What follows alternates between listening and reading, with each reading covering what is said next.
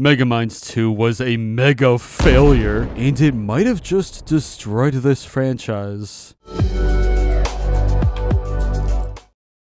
Okay, okay, that's enough of that.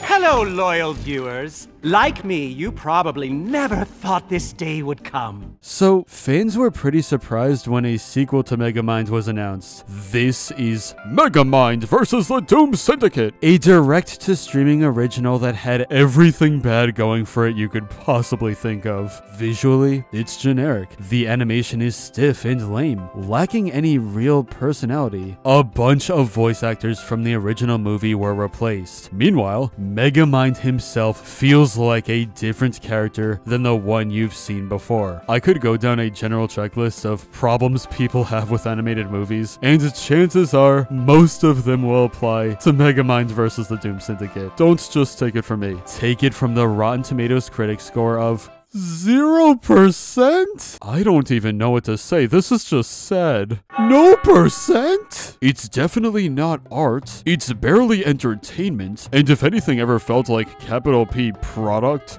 this is it. It is intermittently funny and briefly heartwarming, as though they ran the original through the washing machine a few times and then faxed it. With vaguely established threats and storylines, Megamind vs. the Doom Syndicate is the movie equivalent of meeting a friend you missed for many years years, only to realize that the encounter didn't really need to happen. If you thought these ratings were the worst part of the movie though, sit down. Megamind 2 led to a brand new streaming series, Megamind Rules!